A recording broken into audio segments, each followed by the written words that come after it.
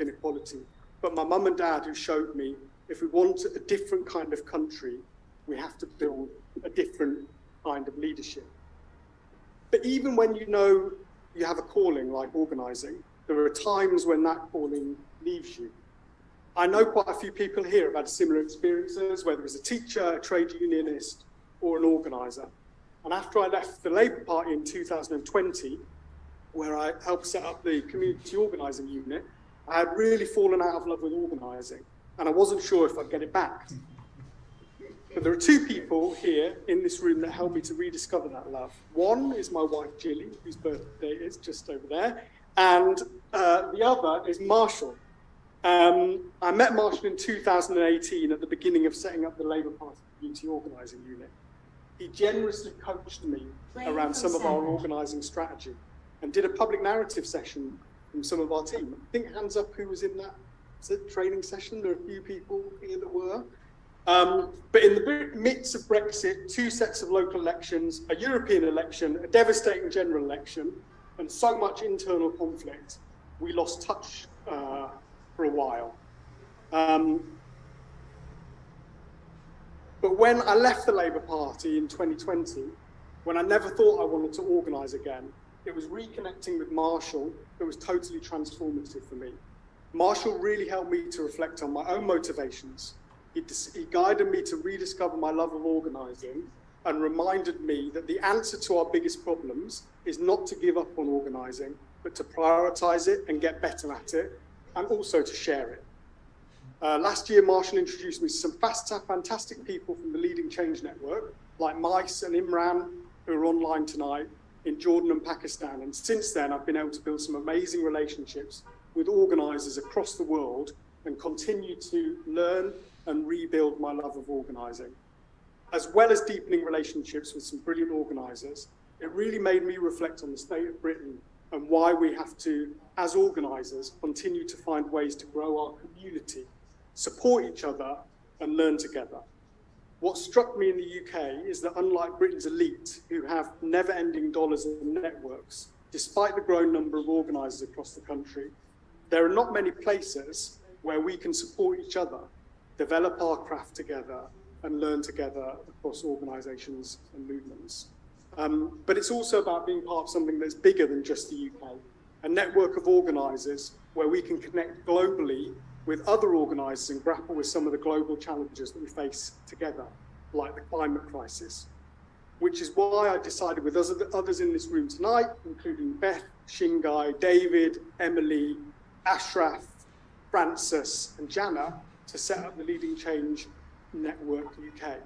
And one of the main reasons why Marshall is here today, to launch this network in the UK. So I'm really privileged to have been part of a fantastic team from LCN that brought Marshall to be with us today for his first ever tour. And as the son of a teacher, to be here at the NEU with you to explore with friends about whether there is an appetite for us to challenge the crisis of inequality and power together. Thank you very much, Tom.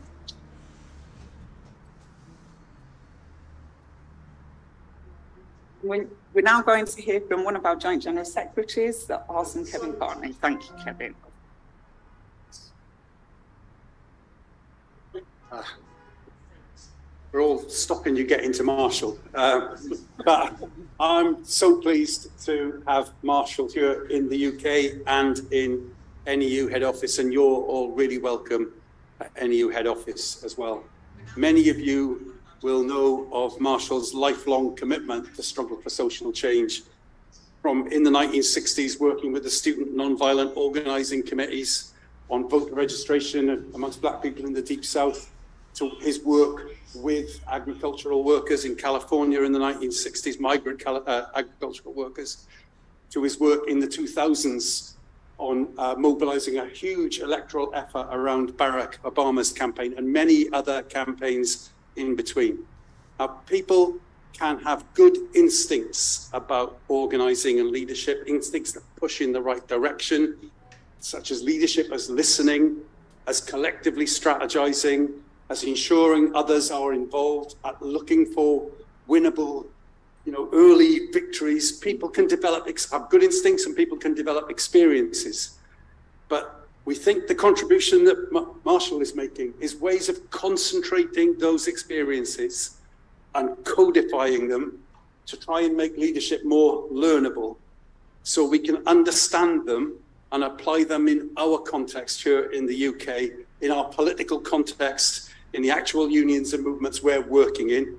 And Marshall's worked through his instincts and his long experience to produce those insights, and that's what you're going to get from him. My job is to say something very, very brief about the political context in the UK and in our unions. And uh, it's not a pretty sight. Oh. There's been oh, a four decade long decline in the amount of industrial action in the United Kingdom. The number of days lost to strike action, and in many years in the 2000s, was lower than the number of days lost to strike action in 1943 during the Second World War. These astonishing figures, not only strike days, but union membership, union density, coverage of collective bargaining agreements, all of those declining across that sort of 40 year period. And there are lots of explanations of why that 40 year decline has happened. And you have to engage them a bit because you want to have some hope that they're coming to an end, that there's going to be some change, which I really believe there is.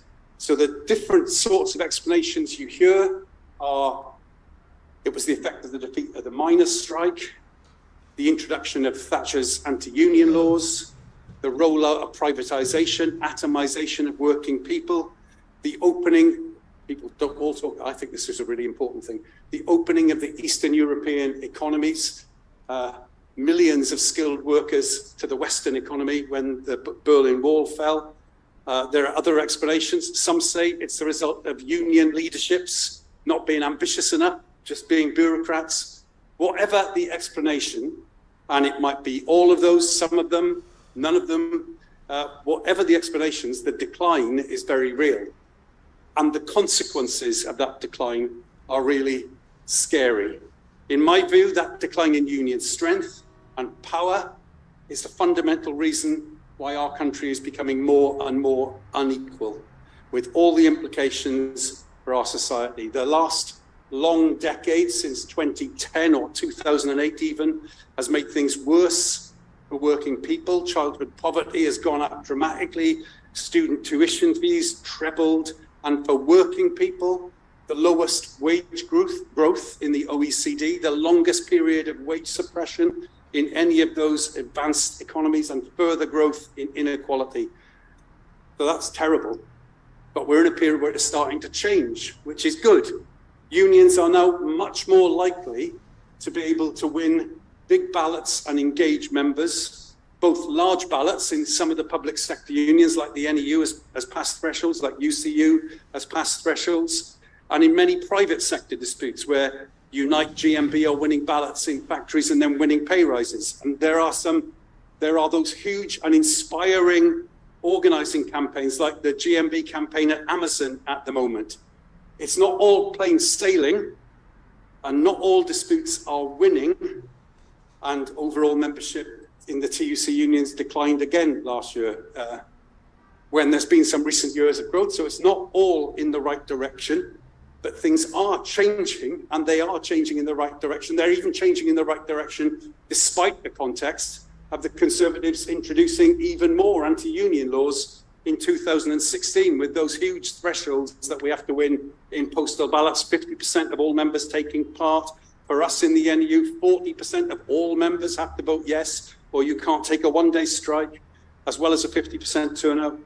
And for some time, we haven't been able, since those laws were introduced in 2016, we weren't able to pass those thresholds in the NEU. We tried a couple of times, we couldn't pass those thresholds. We could in smaller disputes at school level, sometimes at local authority level, but we couldn't pass them at national level, and now we can. There is a change. The spike in inflation, with very real effects on people following the long period of wage suppression since 2010 has angered and mobilized people.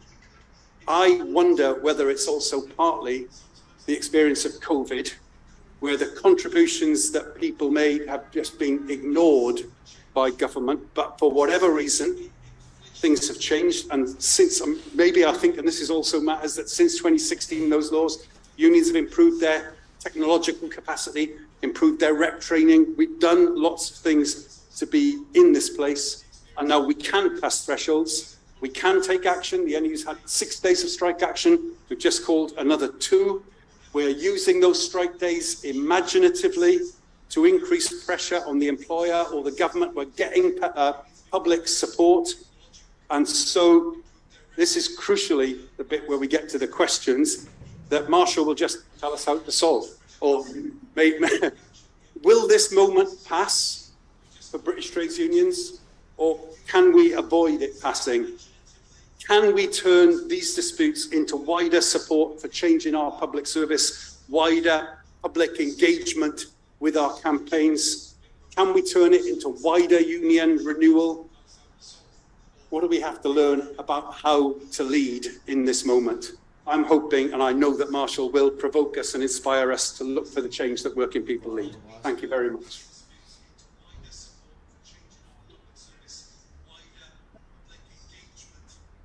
I'm going to stand up there if it's okay, Marshall, because I would like to really take all of this in. So Marshall's now going to deliver his. Oh, okay.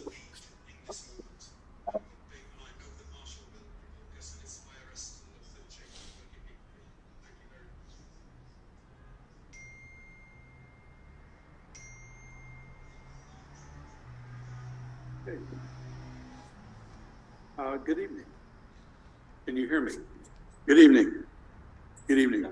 All right, let's try it. Good evening. A little more energy. Good evening. All right, good. Just checking that the communication's working, that the sound's working, and the spirit is present. So, um, thank you so much, uh, Kevin, uh, Louise, uh, Andrew uh, from the union, uh, uh, Dan, and all the crew from LCN, and everyone for this opportunity to learn with you this evening uh, reflect on the challenges that we're facing. Uh, but um, let me just say, uh, this is not going to be about answers, okay? It's going to be about questions. It's going to be about provocation. And hopefully it can be an invitation to a journey in which we can begin to actually find answers and create them. I wish I had the little blueprint, just check it off, but no, that's, that's not what's happening. What, what is happening is uh, my friend Tom Hayden used to say that change is slow except when it's fast. And uh, we're in a fast moment, aren't we? Uh, you know, chickens come home to roost, uh, debts become due. Uh, the galloping inequality uh, over the last 40, 50 years uh, is, is demonstrating its effects.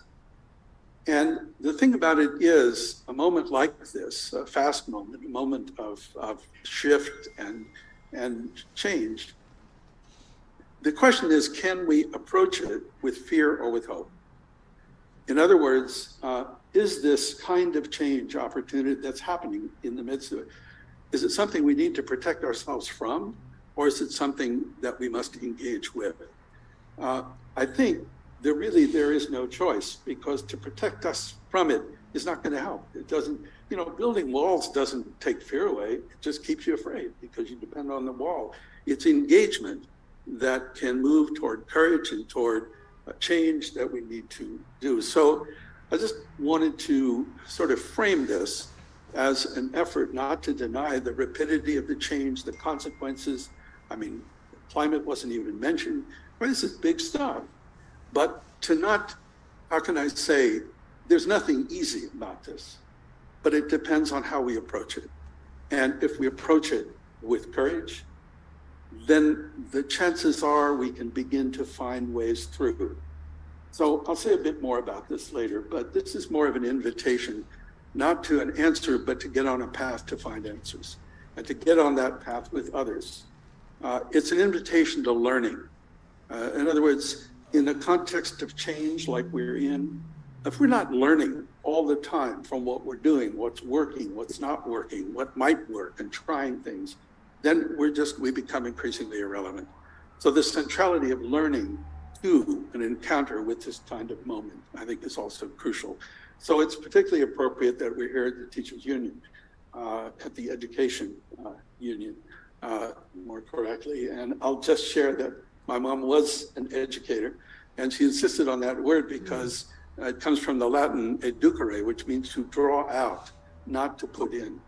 In other words, that the work is to draw out of people uh, what's implicit to become explicit, their capacity, their strength, their understanding, rather than trying to fill people's heads with things, uh, which is not really what education is all about. And the last just general comment I want to make is that um, a Protestant theologian, Walter Brueggemann, uh, wrote a book called Prophetic Imagination, in which he says that um, transformational vision occurs at the intersection of two elements. One he calls criticality, a clear view of the word's need, uh, of the world's needs, pain, uh, coupled with hope, a sense of its promise and possibilities. One without the other goes to despair or it goes to irrelevance, but together they can create a tension that can be powerfully transformational. And it's, it's that encounter, recognizing the challenge, but also accessing the sources of hope. And by hope, I don't mean flowers in May, everything's going to be great. Whoops, I'm not in mean optimism. I'm talking, uh, the best definition I know of is uh, that by uh, the 12th century philosopher Maimonides, who said, Hope is belief in the plausibility of the possible as opposed to the necessity of the probable. In other words, it is always probable Goliath will win, but sometimes David does. It was utterly improbable we would elect a black man president of the United States in 2007, but it happened. In other words, hope is that place between fantasy and certainty. It's the could be. It's the place of imagination. It's the place of possibility. And We have in our own lives those experiences. So that's the context in which I'm using the word hope. Now, uh, we're going to talk about leadership and about organizing. And so I want to be clear about what I mean by leadership. Um, there's as many different definitions as there are people who talk about leadership, I think. So I want to be clear what our approach is. Our approach is based on these three questions posed by first century Jerusalem scholar Rabbi Hillel, who, when asked, How do I figure out what to do with my life? responded with three questions to ask yourself. And the first question is to ask yourself if I am not for myself, who will be for me? Now, that's not meant to be a selfish question, it's meant to be a self regarding question. If you are going to engage in leadership as a relationship as opposed to a performance, you need to be clear what you bring to it, what you expect from it, and approach it with enough self awareness that you can actually see other people other than simply a reflection of yourself. So it's paying attention who, who, what, why am I here? What am I for? But the second question is if I am for myself alone, what am I? Because to be a who and not a what, a human being and not a thing, is to recognize that we are relational creatures. We exist in relationship with others in the world. Our capacity to, change, to achieve our objectives is inextricably wrapped up with the capacity of others to realize theirs. And finally, he says, ask yourself, if not now, when? Uh, not advice to jump into moving traffic. It's a caution against what Jane Addams called the snare of preparation. Just another year of strategic planning. We'll have the perfect plan. Then we'll implement it, and the world will totally conform to our expectations. Yeah, appropriate laughter. Does that ever happen? Yeah, I know where I teach, it's like just another degree, and I'll have all the answers. Uh, that doesn't turn out to be the case either the point is that rarely can we learn to do well what we want to do until we actually be, until we actually do it, begin to do it. That understanding flows from action, not preceding it. And so for me, the interaction of these three elements of the self with the other with action, and action in this way is a lot of what leadership and organizing are all about.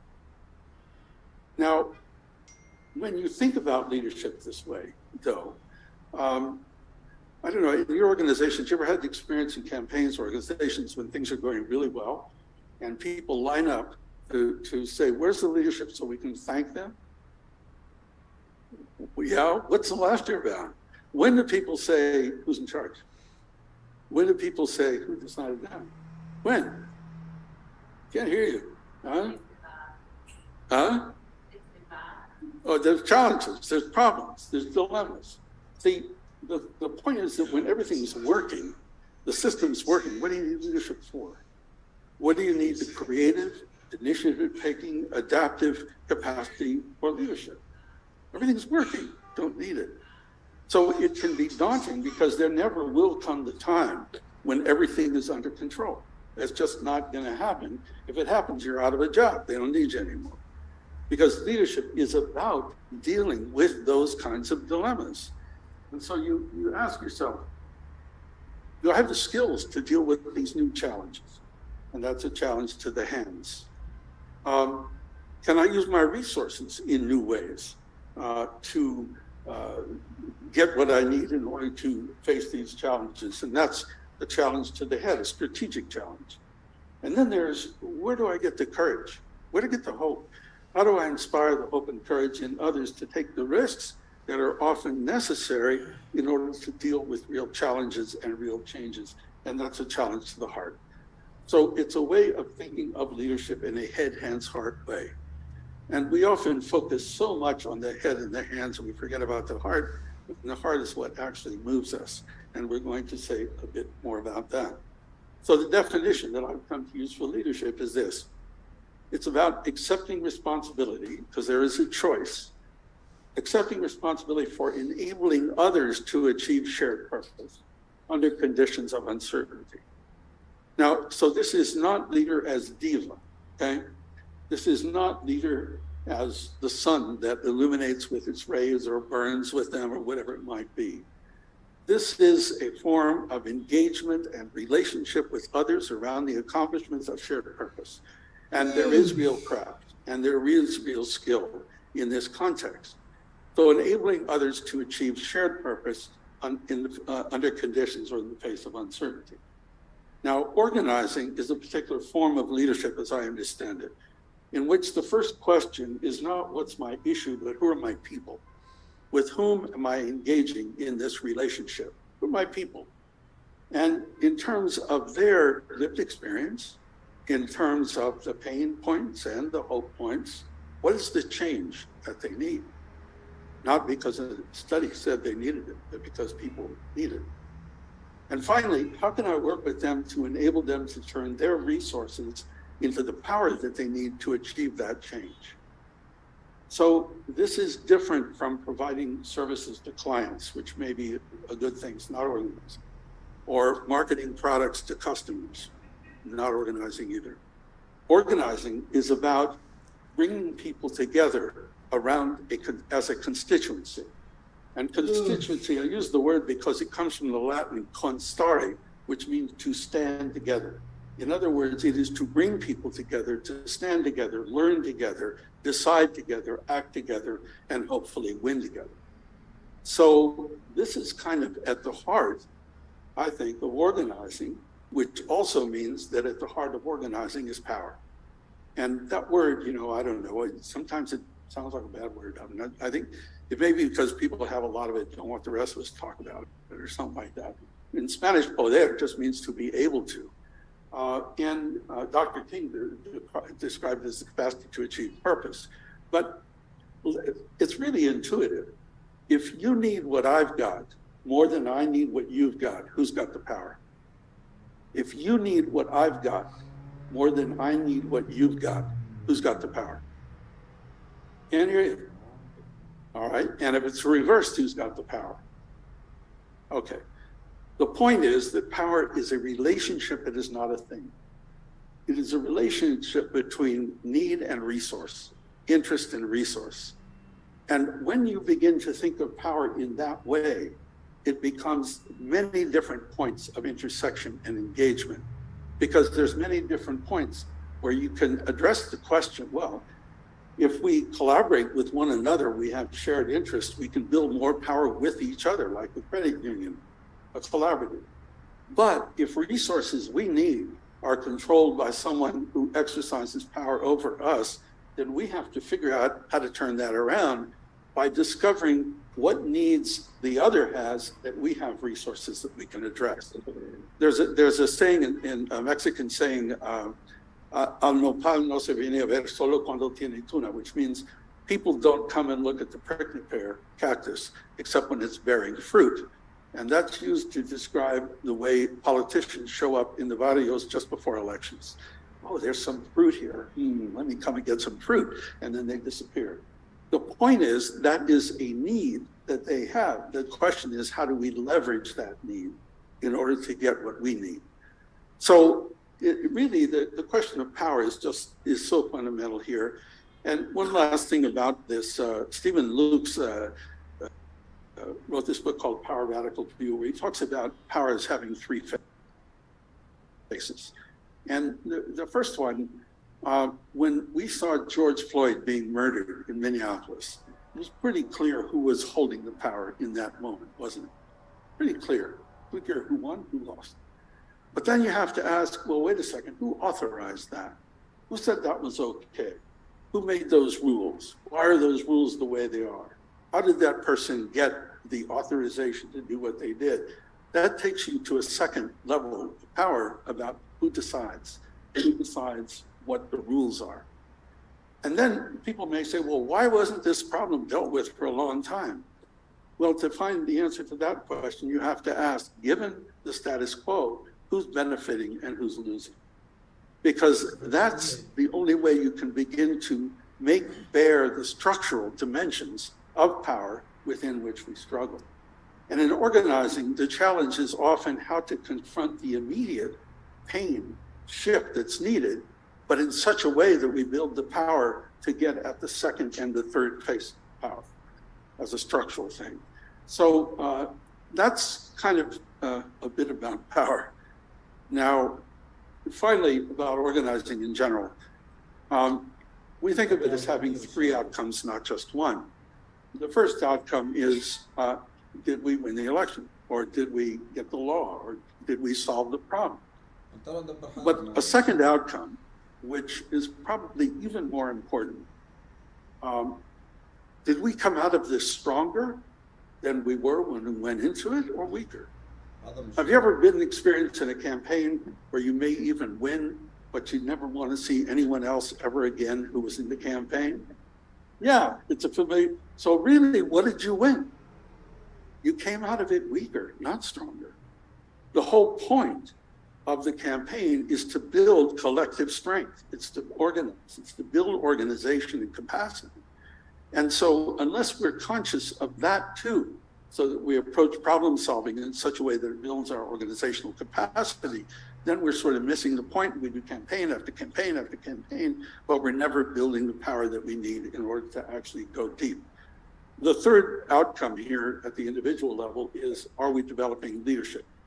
because in, in my understanding, the core to effective organizing is leadership development, is developing uh, with, with people the capacity to do the kind of work that leadership requires, which is what we'll be talking about in just a moment. Um, um, what's this? What do you think this is? I mean, it's a bicycle. Okay, let me put it this way. Uh, how many people learn to ride a bicycle? You learn, okay. And you learn by studying bicycleology, right? Or YouTube or social media. What'd you have to do? You to get, and what's the first thing that happened? You get on a bike, fall. That's your moment of truth. That's when you went home, went to bed, or you found the courage to get back up on that bike, knowing you're going to keep falling for a while because it is the only way you can learn to keep your balance. In my experience, that's how we learn any practice. We get on the bike, and it's not perfect, and we make mistakes. And that is necessary data for our own learning and development. It's sort of so important to create a context in which people are not afraid to learn, which means not afraid to make mistakes, not afraid to fail, because only with that comes the possibility of learning. There's an educational psychologist, Carol Dweck, who distinguishes between what she calls fixed mindset and growth mindset. And fixed mindset is approaching a new learning, uh, learning something new, as a judgment on who you are, like I am smart, I am dumb, I am wise, I am stupid, whatever. Um, that's fixed mindset. And of course, our defenses kick in. On the other hand, growth mindset is to approach this as uh, negative or, or critical feedback as data on my learning. And I need that data in order to learn. And so we invite people to take a growth mindset when we're working on organizing practices and how to learn them, because it always involves getting on the bike. And so we're not, we don't, we're, we're going to see a little bit of that this evening. We don't have a time for a lot of it, but I wanted to put it out there because nobody learns to organize from hearing a talk. Nobody learns to organize from reading a book. People learn to organize by organizing. And that doesn't mean you wait till you're some kind of expert. It means you start and then you learn and then you reflect. And that's really how this, how this uh, process works. Now, I wanted to say one thing about this. It's kind of core to the way we approach uh, teaching and learning organisms. Um, would you think of a moment in which you felt disrespected?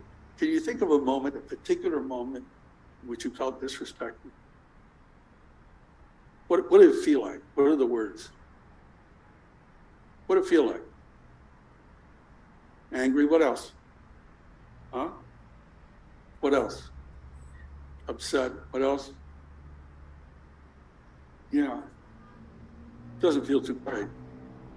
What about a moment, again, a specific moment in which you felt respected? Which you really felt respected? What did that feel like? Buoyant. What else? Emboldened. Very good. What else? I'm sorry? Valued. Oh, valued. Yes. And what else? Seems like it's a little better than the other one. Yeah. Now, what about a moment in which you felt respect for someone else? A moment when you felt respect for someone else. Connected, what else? Inspired. Yeah, what else? Ah, something to learn here. What else? Hopeful. Hopeful. Now, what about a moment when you, and be honest, when you felt disrespect for someone else? How'd that feel? I'm sorry? Tired, so sorry. What else? Yeah, what else? Angry. It seems like we're better off to both give and receive respect, don't you think? And the reason I'm, I'm saying this is when we get into learning practice, there's a vulnerability that's essential to the learning. And so if we can't agree on terms of respect, then we're not going to be learning.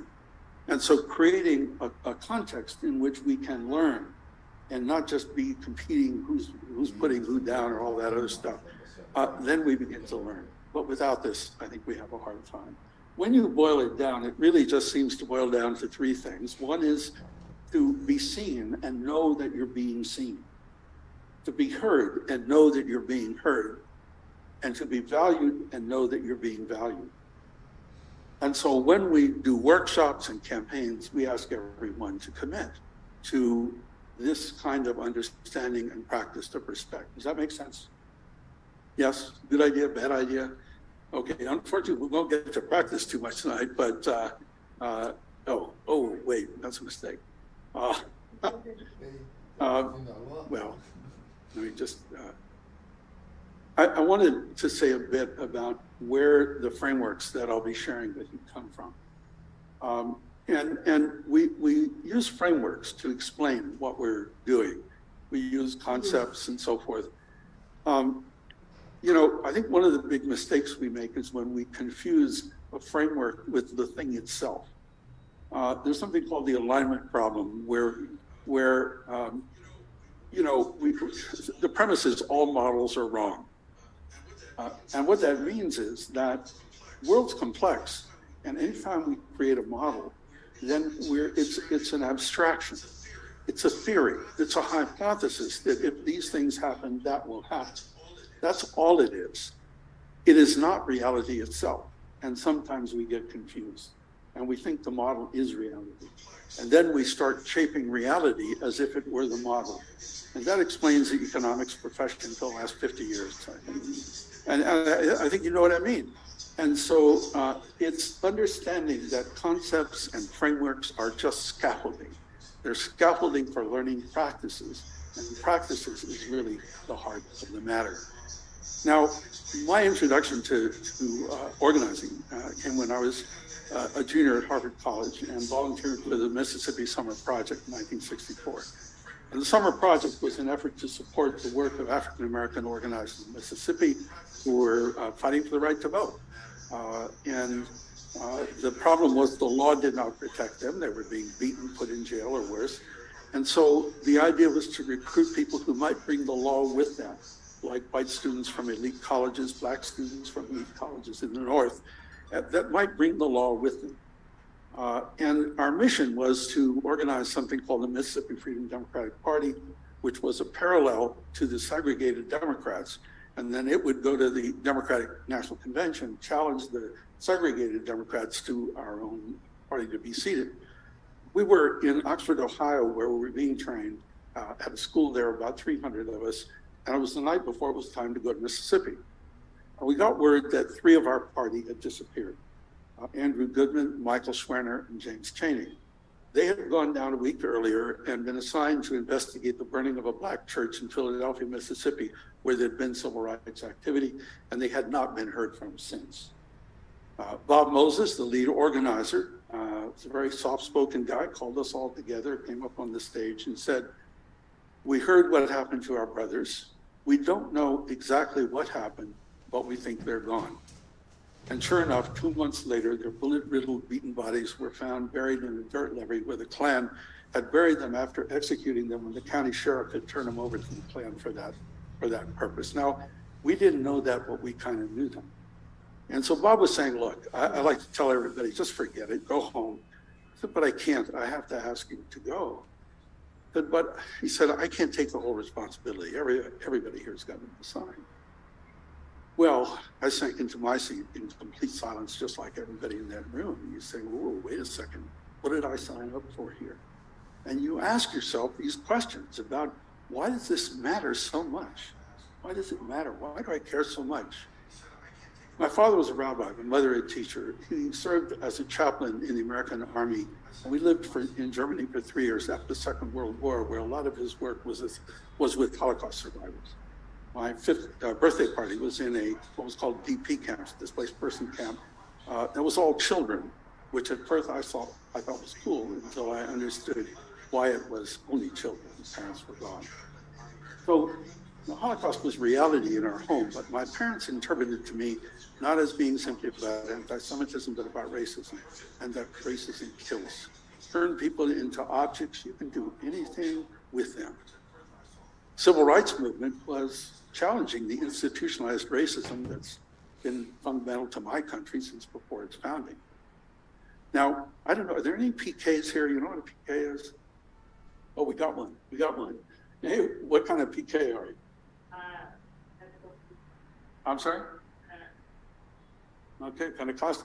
PK, you know what we're talking about? Oh, we got another PK. A double. A double PK. Uh, two Anglican priests. Okay, all right. Yeah, it means preacher's kid. Uh, and, uh, and it has certain things like you got to show up at all this stuff. You're also supposed to be perfect, which is a different issue for. That's for a support group. Yeah, that's a different deal. But I, I did love the Passover Seder, the, the the meal that is the telling of the Exodus story of this journey from slavery to freedom. And they would look at the kids and say, You were slaves in, in Egypt. I said, I've never been a slave, never been to Egypt. It took me a while to understand what it meant was that that story was not the property of one people or time or place. It's told generation after generation.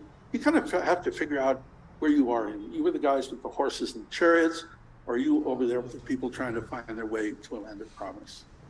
And Dr. King described the civil rights movement as yet another chapter in that story. Now, I was 20 at the time, others were 18, 19, 21, 22. Civil rights movement was a movement of young people. You know, it's important. Dr. King, when he led the bus boycott in Montgomery, Alabama, was 25. And it's not an accident. You remember the quote I uh, earlier about Walter Brueggemann, uh, talking about criticality and hope? young people come of age with a critical eye on the world they find, almost of necessity, hopeful hearts. And so there's a deep affinity between generation change and social change. And that was so certainly in my generation. And I believe it is and needs to be and must be in this generation as well. Otherwise, we don't have a future unless we are really engaging with creating it. As we're sitting there in silence, a young woman in the back, Jean Wheeler, she, a SNCC organizer, she stands up, she starts to sing. They say that freedom is constant struggle. They say freedom is a constant struggle. Oh Lord, we've struggled so long, we must be free. They say freedom is a constant dying, we've died too long. We must be free. And as she stood up, walked out of the room, everybody filed in behind her. And the next day, everybody went to Mississippi. Now, for me, that was a choice point uh, because it was in Mississippi really where I would find my calling. And by calling, I use that word intentionally. Not my career, not my job, but what I'm here to do, uh, why I'm here. And, you know, with, with all due respect to Harvard, my education about race, power, and politics in America was not at Harvard, it was in Mississippi. The evident inequalities between whites and blacks, everything, housing, healthcare, education, you name it. But it was also clear that bringing a few medical supplies or books wasn't going to change much. It's when I began to learn the difference between charity and justice. The charity says, what's wrong? Let me help. Justice says, why is it happening? Let's change it.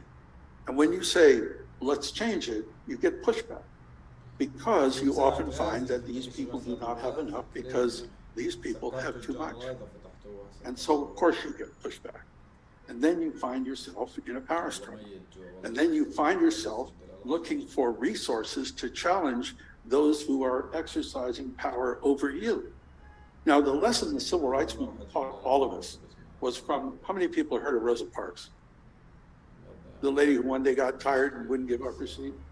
Yeah, actually, she was secretary of the NAACP chapter. She was trained in organizing, Highlander School. It was all a strategy to file a lawsuit based on the Supreme Court decision the year before about uh, segregation being unconstitutional and apply it to the buses. Because the buses have blacks in the back, whites in the front, no man's land in the middle, armed deputized bus driver in the front. So a black person have to walk past all that, find a seat in the back, and if a white person wanted the seat, they had to get and give it to him. Twice a day. Think about the anger in that community. And so they wanted to file, so they, they, Rosa got arrested, filed, but the Women's Committee, the Black College said, it's not enough. Uh, we got to show solidarity. And they convinced Dr. King and the others to call for a one day, uh, we would just all stay off the buses. And there's a great account of the, the uh, Monday morning when it was to start. Dr. King gets up early and sees the buses going by. There isn't a single black face on a single bus. Now, at that moment, that community saw itself differently. Powerlessness fragments you, but that kind of unity empowers. So that night, they said, well, we stayed off one day, we're just going to stay off until we win.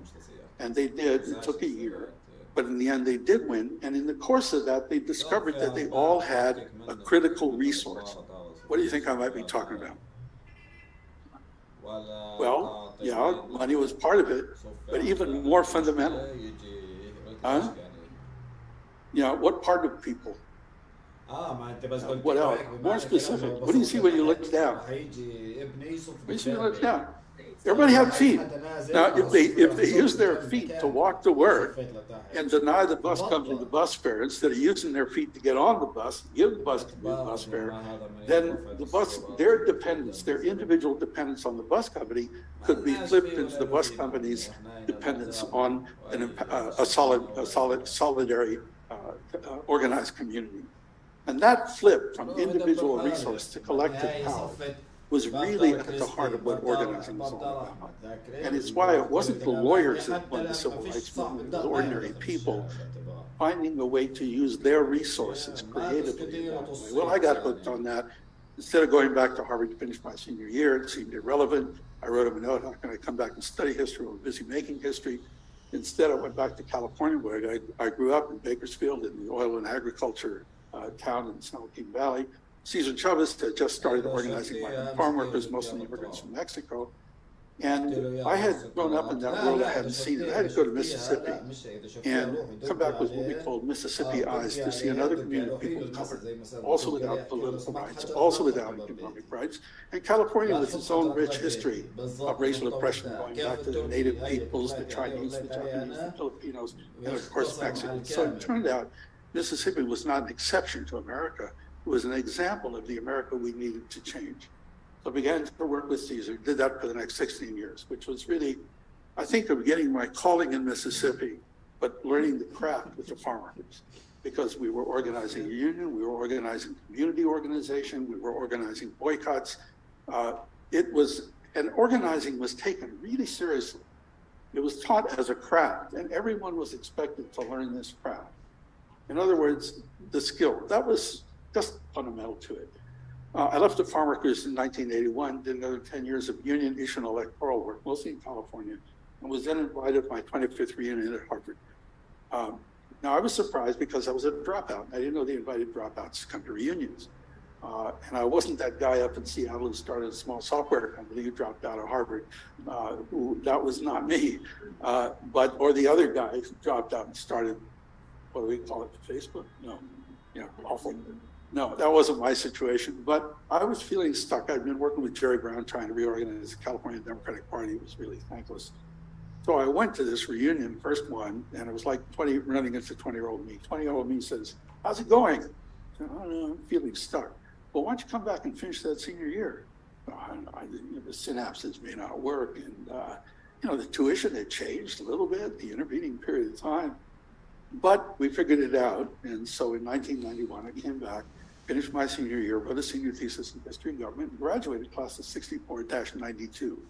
And, and, and, my 81 year old mother got to come and see her son finally become a college graduate. Patience paid off. But I got the bug, did a master's then at the Kennedy School, a PhD in sociology. And while I was working on the PhD, was asked to design a course on organizing, which turned out to be a gift to me. Because there's a way I could integrate my life experience, the social science I was learning, in a pedagogical conversation with a rising generation. You know, it was like, I got to go to class. I get to go to class twice a week and have a conversation with the future. I mean, how cool is that? And it's powerfully generative and I think a source of real learning for, for all of us. So I've been on the faculty full time since 2000, teach organizing, online, offline, public narrative, online, offline, and got back into the world of practice really through my students, particularly with the Obama campaign in 2007, where we took a lot of these practices that we've been developing and put them to work in a way that turns out they actually could work. In other words, the way I approach being at the university is it's a way to connect research, practice, and teaching. Pedagogy practice. In other words, I treat my classes as laboratories. It's where we try stuff, we figure out stuff. But what we're figuring out is practice, because it's practice is where the action is. And so, uh, let me just flip here. Uh, th- somebody put this in here. Th- th- this is not supposed to be here. Uh, this is uh, pictures believe it or not, I'm in these pictures. That was one with Cesar Chavez. One in the middle is with uh, Dorothy Day, the leader of the Catholic Worker Movement, some of you may be familiar with. The one on the right uh, was with Dolores Huerta and, and Joan Baez, and a delegation of Yemeni farm workers who came and worked in the grapes. And one of their brothers was the first person to be killed on a farm worker picket line in California, uh, And this is at a huge Muslim funeral attended by primarily Mexican farm workers uh, in California. This was a strike in Delano. This is planning a boycott and so forth. Anyway, those were the days. All right, that's not where we are. Okay, so um, how many of you have ever been in a disorganization? Yeah? What's a disorganization? Yeah, it's people raising their hands. Uh, know, we once tried to put together what are the characteristics of a disorganization and um, passivity. Um, you know, people don't show up stuff. Divided. I don't mean differences of opinion, but I mean deep divisions, factions, the kind of thing uh, that undermines uh, collective effort. Uh, drift. Just, you know, we're drifting along. Uh, reactiveness. Hard time making decisions, but we uh, we react when someone makes a decision that affects us like chickens with our heads cut off. And inaction. We may have resources, but they're not being used. Any of this sound familiar? It's pretty awful because if our power depends on, on collective action, this is the opposite. So we made a list of the promised land over here. Uh, what would it look like to have, be an organization? Be active instead of passive. There'd be unity instead of division. There'd be purpose instead of drift there'd be initiative instead of reactiveness, and there would be change instead of inaction. How many people have been in one of these? An organization like this? Oh, really? Oh, that's sad. Okay. Well, no, no, we have some work to do because what was the answer? What is the, we did a whole study to figure out, we had a bunch of boycott cities around, around the US. Some were working, some not. We're trying to figure out why some worked. And we had lots of theories about, well, the unions are strong, churches are strong. It all boils down to one thing. What was the one thing? Here revealed in the first line. Leadership. But it wasn't leadership as somebody had a great personality or somebody gave a great speech. It wasn't that at all. It was the it was practices. In other words, leadership is a practice. It's not a thing. It's not a what. It's a way of doing things. And if there was activity instead of passivity, it was because someone was doing the work of turning the values into the kinds of narratives that created courage and unity. If there was unity instead of division, it's because people were building relationships with intentionality with each other. If there was purpose instead of drift, it was because there was a clear structure for making decisions, for coordination, for accountability. Initiative instead of reactiveness, strategizing. Somebody was strategizing. And if there was change instead of inaction, it was actually turning resources into facts on the ground, votes in the ballot box, uh, whatever it might be. And so the, the approach that we take then is based on those five practices. Uh, first, storytelling, say a bit more in a minute, relationship building, structuring, strategizing, and acting. And the idea is that these are practices that we can learn. They take what we, most of these things, if you look at this, these are things we all know how to do. I mean, who has ever told a story? I mean, you know, who's ever had a relationship? I don't say a good one, but who's ever had a relationship? Who's ever had a relationship? Uh, who's ever created expectations with somebody else about you're going to meet? So this structure. Who's ever had to strategize? You know what I'm talking? You ever oversleep in the morning and you still have to get to work and you have to find a new way to get to work? You know what I'm talking? To, yeah, you're strategizing. That's what strategy is. It's, it's figuring out how you can still use your resources to accomplish what you're trying to accomplish. And of course, action. We know the difference between showing up and not showing up. So these are all basic human competencies. And what we've been trying to do with our work is uh, present them as craft so that they can be learned. This goes back to point made at the beginning. Now, leadership is central to the whole thing. And so, um, what do you think this is? You ever been one of these? You see what that, you see that dot in the middle? You ever been a dot? You know, you ever tried to work with a dot? Really? Doesn't, who's been a dot? Come on, fess up. Huh? Everybody comes to you. Everybody comes to you. You burn out, they burn out. Right? It's a problem. And we need to acknowledge it as a problem. You know, it's who said that leadership is a one person deal? I mean, where, where was that written? You know? So sometimes we react so strongly to the dot that we decide we don't need any leadership. We don't need any structure. Forget it. You had that experience? And that usually goes here, all over the place. Uh, feminist sociologist Jo Freeman wrote an article called The Tyranny of Structurelessness. And she started saying, in this circumstance, people are still making decisions, but they're hidden, they're off the books, they're not transparent, and so better to be transparent than own it. And there is an alternative which we began developing seriously with the Obama campaign in 2007, which is to think in terms of leadership teams. Now, by a team, I don't mean a whole bunch of people.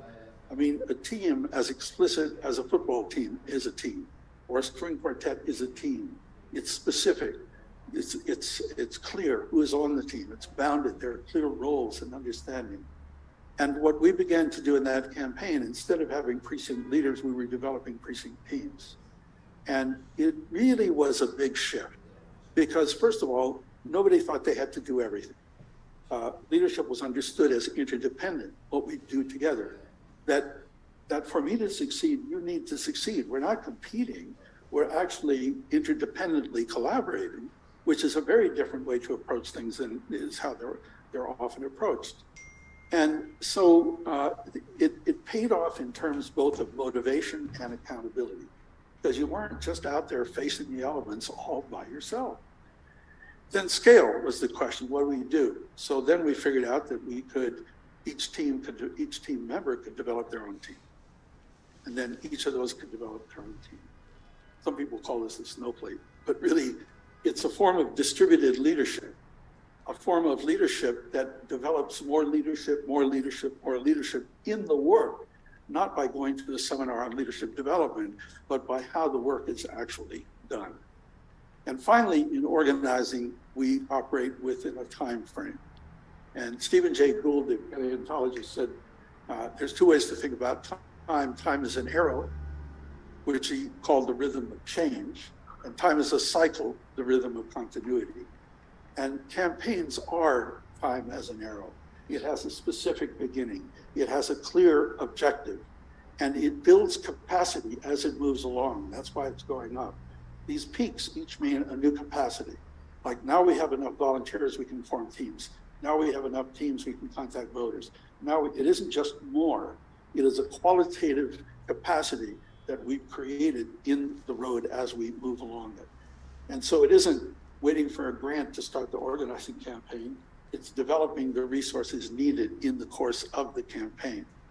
So, okay, now I'm just gonna, we're, we're short on time, so I'm gonna zip through this. Um, I just want to say a bit more about these practices, relationship building.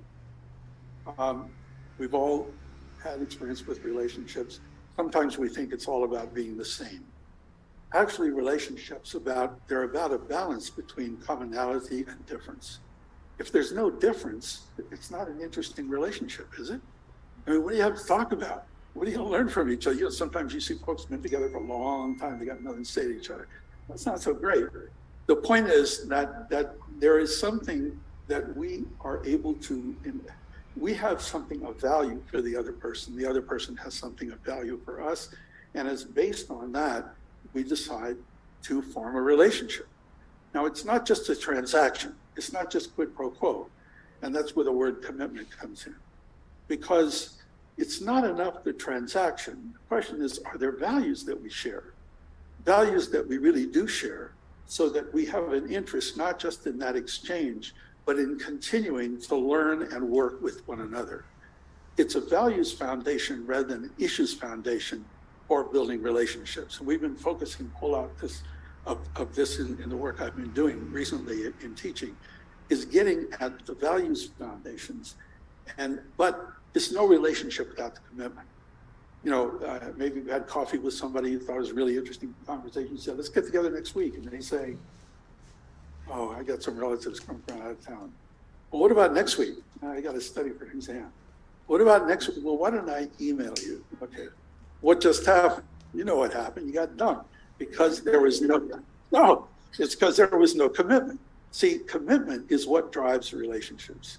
And one of the problems we're having these days with this very, very fragmented, individualistic, transactional way of interacting with one another is we're not making the commitments.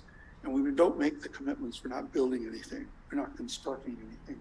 We're not building uh, an organization, a movement, or anything else. So the core practice in relationship building that we teach is the one-on-one meeting, which is about how to meet with another person uh, and engage in a serious conversation about why they care, why you care, what you might, how you might share how you might have be able to create value by sharing with one another in the future. So it's not just sign up by petition or come to my meeting. It's like, hey, do we have enough shared here that we could commit to working with each other? And then in that context, we do and develop all this other stuff. That's often the piece that's missing. We just approach it transactionally. And this is much more fruitful. Second is storytelling. And you know, uh, how many people have had any contact with public narrative? Some folks. Yeah, the whole idea of storytelling is that stories are one way in which we can access the emotional resources embedded in our values. The emotional resources embedded in our values to confront disruptions, not with, not as a threat, fearfully, but as a challenge, hopefully. In other words, the narrative, oops. Oh, no, no, no, no, no, no. There, yes. Yeah, the basic of narrative is the narrative moment. It is a moment. It is a moment in which there is a, a, a disruption, a challenge, uh, there is a response, and there is an outcome. And so, you know, if you think what takes a plot to make a plot a plot, you know, I got up here and started talking, not very interesting. Uh, but, uh, or I came from, you know, where I was staying. It only gets interesting if there's a disruption, right? Like the tube broke down, or like, uh, you know, somebody stole the car, or anything like that starts to create interest. Up before then, we're not interested. See, it's a breach in the continuity and what's expected. And, and it is a moment of change. I can say I was watching a beautiful sunset with my partner, and the sunset was setting, it was really beautiful and turned orange and pink.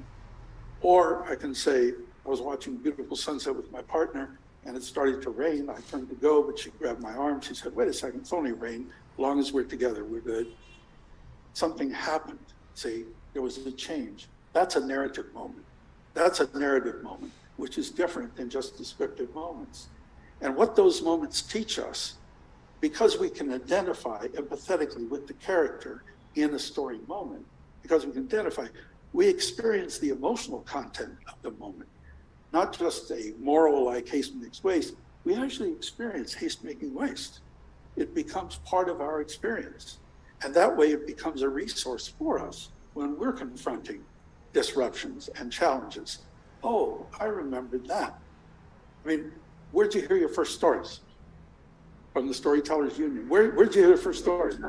Where'd you hear?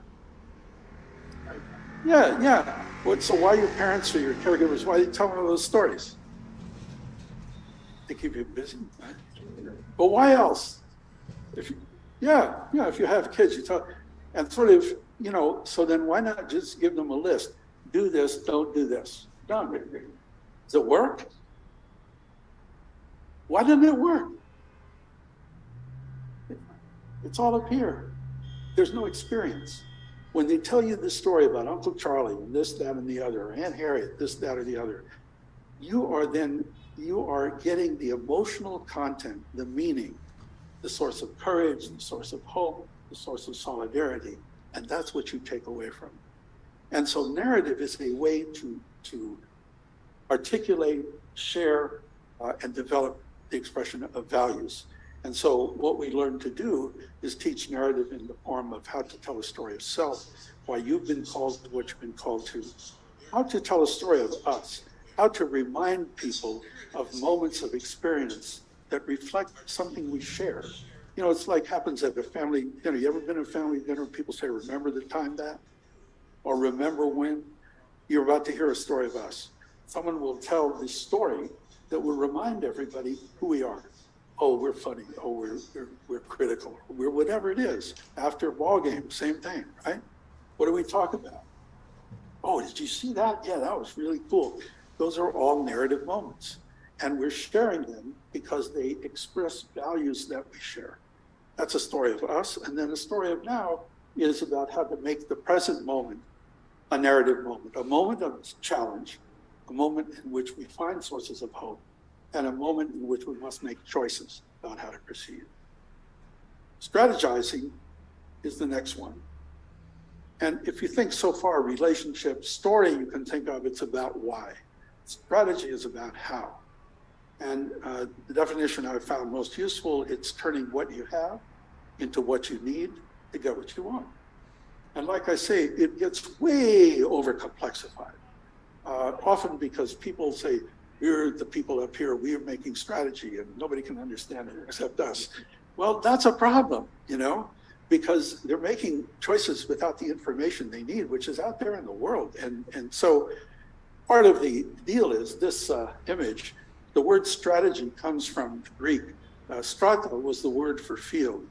And, and the army was called the strata. And the strata was deployed uh, in order to win a battle. And the general was called the strategos. And the strategos was up on the hill, and looking over the battlefield and figuring out how to deploy his troops and how the enemy would be likely to respond, he was really developing a theory of change. He was developing a hypothesis of how it might go. Now, the folks down in the valley, they were called tacticas. This is where we get strategy and tactics. These were the ranks of soldiers called tacticas. They were the activities, they were the action that was being taken. So this is kind of the theory and the action. Now, the trouble comes when fog settles between the two. And the one up on the hill thinks they've got the whole truth because they can see the big picture. Sometimes the people down here in the valley think they got the whole truth because they know the local reality. You ever hear this? Come on. The problem is neither one has, whoops. Wait, what happened? Oh no. What happened? Going through it quickly here. Uh, storytelling. Okay, yeah, back there. Now, the, the problem becomes that each of them has a piece of reality. And in other words, uh, at the local level, yeah, you know the context really well, but from the mountaintop, you could put the context in context, in a broader context, kind of see. But from the mountaintop, you don't know the specific context, the local context. So people tend to just say this, say this, you know, they send out uh, packaged scripts that you just, I don't know if it happens here in the US, it's a big deal. Just say this exactly. And yeah, I'm just a cog in the machine. What's my responsibility? What do I do here? So strategizing, we think of it as a verb, not a noun, uh, because it's not like you make a plan and then you're done. Uh, you know, General Eisenhower, after the D-Day invasion, said, planning is really important, but plans are useless. And what he meant was that that's the planning process gets us on a similar uh, framework. But once the action starts, no, that's when the strategizing starts because you're learning this worked, this didn't work, this was a mistake. And unless you have a strategy team that is capable and able to do adaptive strategizing, then you wind up just going off somewhere and the world changes without you. So think of it as a word. Finally, uh, or almost finally, acting, uh, acting meaning mobilizing and deploying resources. In other words, mobilizing, well, like mobilizing the Montgomery bus boycott, mobilizing people's feet and deploying their feet in the form of a boycott. In other words, or mobilizing somebody's money and deploying it in the form of hiring a staff or, or something, or mobilizing somebody's dues or mobilizing somebody's expertise. The idea is to mobilize resources, but then deploy them strategically. And it depends on these two things on understanding how commitments really work, that I'll try is not a commitment, I'll try is I'll try. And it's often very hard for us to, you know, take the tension, well, yes or no. And really, without that, nothing's happening. Uh, and uh, the other is motivation, is designing work that we ask people to do that's inherently motivational. That isn't just like same thing over and over and over and over. We know there's a way to design tasks that are inherently motivational. So that's the action. And Structuring uh, just means doing the work to articulate a shared purpose, uh, methods for decision making, accountability, and difference, dealing with difference, roles and responsibilities. Now, I don't know, I've been doing some work with the Sunrise Movement uh, in, in, the US, uh, which is about climate change movement. But boy, they had a hard time with structure, really hard. Lots of energy, lots of mobilization, lots of deployment, but the structure was a challenge. And so then it turns out it's a little bit like uh, in the cartoons, Wile E. Coyote. I don't know if folks remember Wile E. Coyote, where you know the Roadrunner and all that, and and Wile E. Coyote is running off the cliff, and he looks down, and there's nothing there.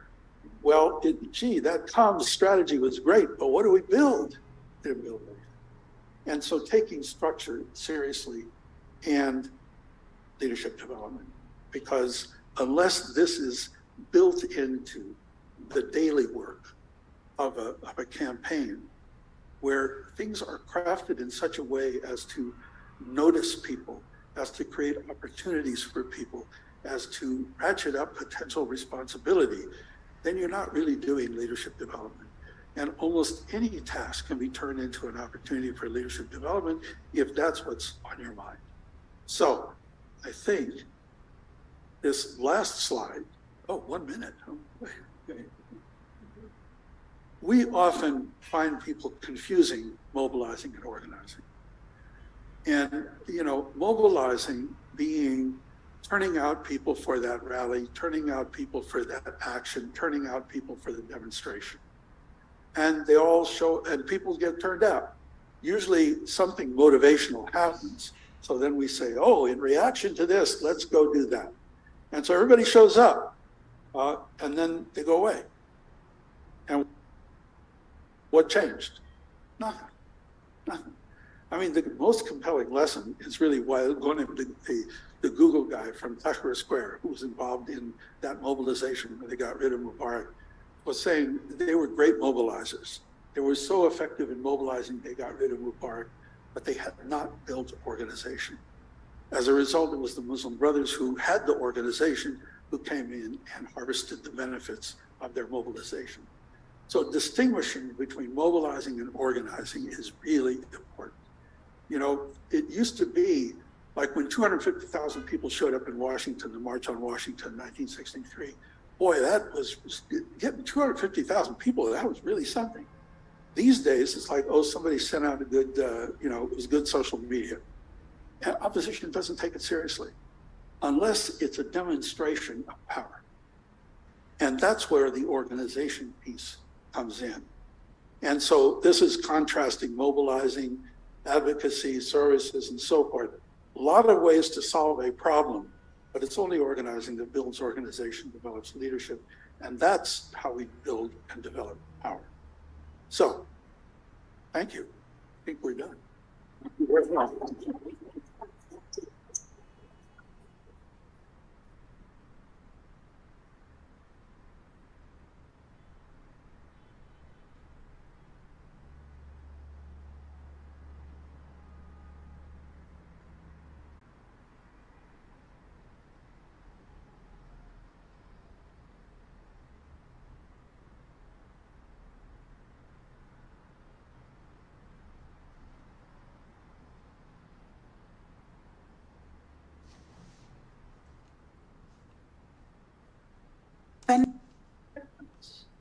Yeah, shall I start with that? Yeah, so, okay, look, this is not rehearsed, okay? Uh, it's not rehearsed, but I thought it might be interesting to uh, demonstrate something around coaching. Because coaching is not the same thing as giving advice. Coaching is asking questions. And it's a way we can support one another in coaching. It's really when we say leadership as enabling, coaching is a way to enable. It's very different than saying, do this, do that, boom.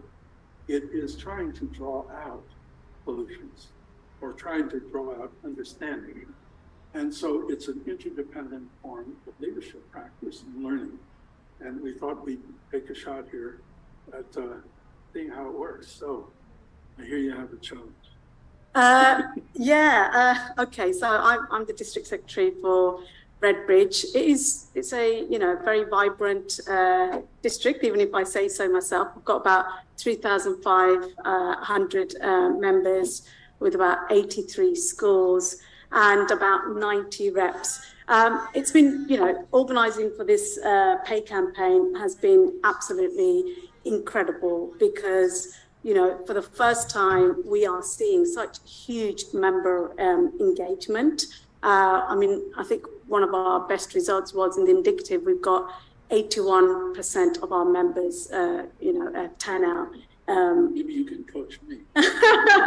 not at all, not at all. I'm here for answers. So, um, you know, it's it's it's uh, you know, it's been such an exciting and historic time. I think also you know, from our members' point of view, I think for the first time we are really proving, you know, what the union is there for, and they're really recognizing uh, the, the power of, of, the union because it's having a real time kind of, you know, real life impact uh, on, on, their on, on their lives. Um, and so, uh, even last week, I went to a, a members' meeting and uh, one of the members really wanted to talk about the demonstrations he's been on and uh, and and the rallies he's been part of and the picket lines he was part of, and he concluded by saying. I feel, you know, now I kind of understand there's, there's, there's, there's power in the union. And for me, that was just so, you know, such a wonderful thing to hear because that shows there's so much potential going forward about what members are then able to take away um, from from from this uh, pay campaign. But really, so really the challenge is is about um, the reps and activists uh, who work with us. Uh, we are we're so lucky to have such committed, uh, passionate um, um, activists. Uh, but as, as a branch, um, we, we ask so much of them, but we're also very, very conscious that in education, workload, excessive workload, um, is, is a real, real problem. So when we're asking our reps and our activists to do something, it is on top of what they're already doing um, in, in schools. And this is a nine to five, you know, this is a, this is a full-time job um, with with lots of um, um, hours that they put in um, outside of, uh, of the time and with families um, uh, uh, and work life balance uh, to to kind of sort out as well. So it's about um, how you know how can we ask our reps to do so much more. I mean, ideally, as a branch secretary, I would love for them to have union work at the forefront of what they do. just, now, how long have you been doing union work? Um, I say about, about um, I'd say about eight years, seven, eight, years. Yes. What got you started? Um, well, it was um, one one. So uh, our rep uh, stepped down, and uh, um, someone else asked me to step up. Yeah, but why did you step up?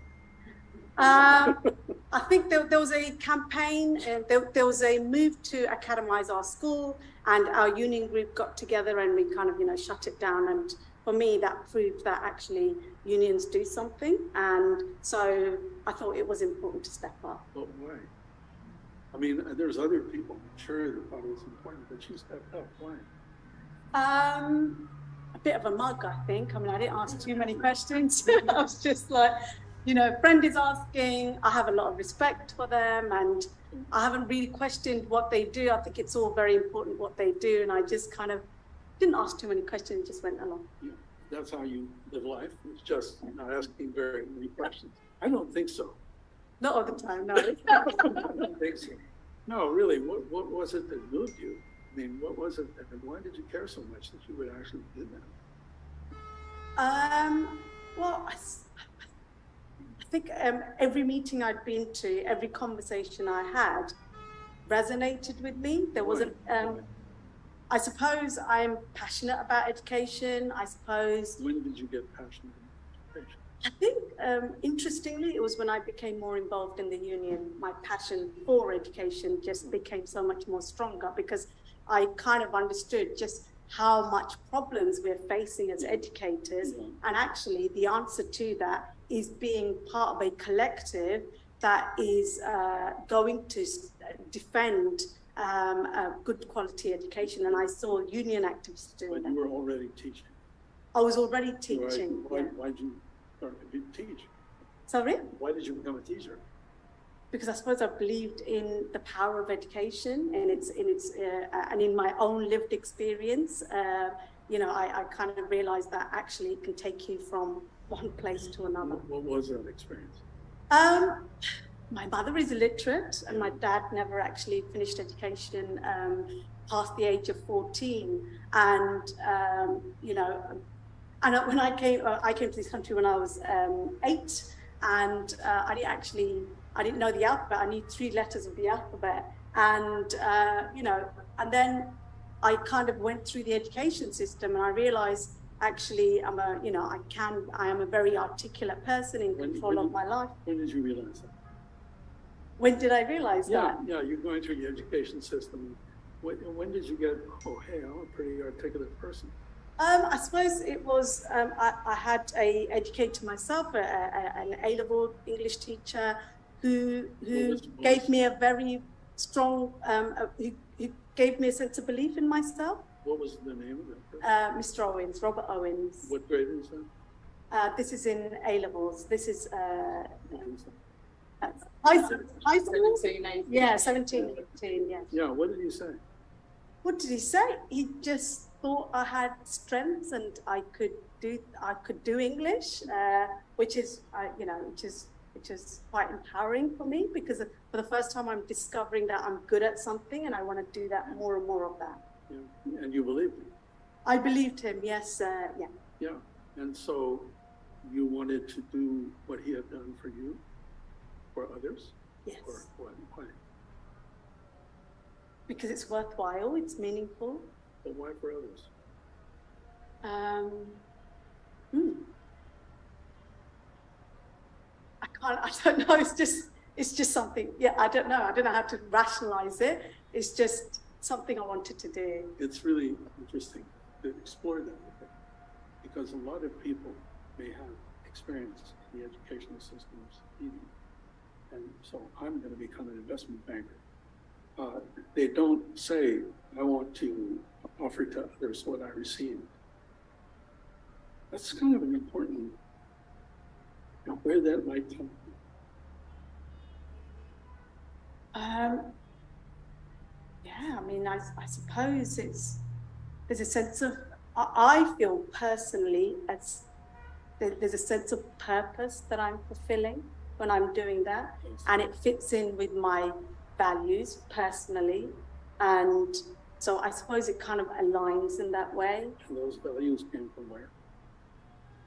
Oh, okay, that's quite a deep question. Um, uh, where do they come from? Uh, family experiences, just Did you come up in a faith tradition or cultural practices or? Uh, not, not really. No, not faith. I suppose culture plays uh, a big role. Family commitment to family plays a role. So you're not just a loner. No, I don't think so. Yeah. No, I mean, it matters to have that other people. like this. Yeah. So, first, thank you for responding to these questions. Now, what does this have to do with the challenge that you posed to me? I think I want to be a responsible branch secretary in that I'm not pushing my activists too much to the point they give up, or I'm not asking enough of them that they're passive. Here, here's a, as you reflect on your own experience in finding this, this calling, uh, this work, stepping up for it, continuing to do it, what is there to learn about what might help others the same thing? I think people generally, um, as they mature, maybe want to give back and uh, they want to do something that isn't just about improving themselves. They feel a part of a community and they want to do something that gives meaning to them Yeah. um, and that, um, you know, is, is, is in some way fulfilling their, uh, their values. Uh, about about giving back to people and doing the right things and When you invite people to your rep, is that what you're offering them? I think so. Yes. Do they know that? Um, uh, I think we try to have discussions that are, uh, yeah, I, I, I think people understand what we're engaged in is um, enabling others, empowering others, How, and that's important to do. how, how do they experience that?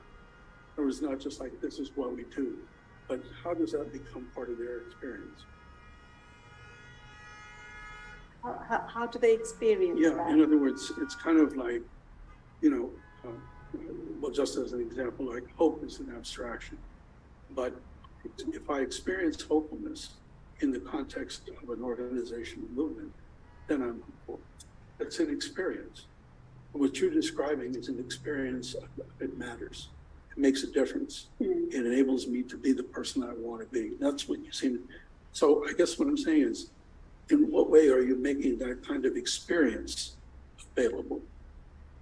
Um, okay, um, I suppose we share lots of stories in uh, meetings of where we have, uh, where members have taken action Yeah. and they have changed things. And uh, where that's led to better outcomes. Yeah. So, and I and I think listening to that, I think others kind of feel like, yeah, what the union does is important. It kind of, you know, empowers individuals, it empowers groups of people, and it's where you can make So, change. so who are these people that you're so, you're so concerned about asking them to do too much? um, so reps, activists. Well, like for example, uh, you can you it, you can use a fake name, but whatever. But for example, So we've got, we've we've got two two activists, I suppose. Um, one of them uh, one of them is called Mo. He's he's brilliant. He's he's newly married, and every time I ask him to do something, I feel like I'm taking him away from. now does he tell you that, or you feel that way? I feel like that. Why? No. Why? Uh, I don't know. I mean, I, I don't know. I, I- I think it's important people have time to rest from such Yeah. an onerous Yeah. job. But why should why would you say no for him? Sorry. Why would you say no for him? Good question. Why would I? Because he's more than capable of saying no to me. Believe me, yeah.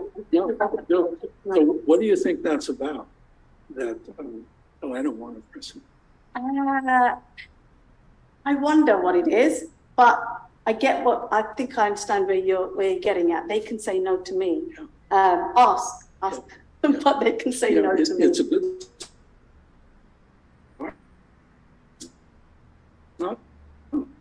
Not an expert on this. You've lived it. Yeah. You've lived it. This is not something to make up. Do you think he has a lot he could learn from you? Oh God, that's a bit embarrassing. Truthfully, fine. I, I mean, hopefully yes, because I don't just say things. I mean, I think I do, and I improve, and I. Yeah. So what if you gave him the opportunity for that kind of learning? Um, I think he'd be fantastic, and, and and in fact, you know, I don't think he has too much to learn. I think he's he's brilliant uh, already. He's got a lot of potential. Yeah, Okay. yeah. So it's an opportunity, Yeah. I suppose, Yeah. in a way. Yeah.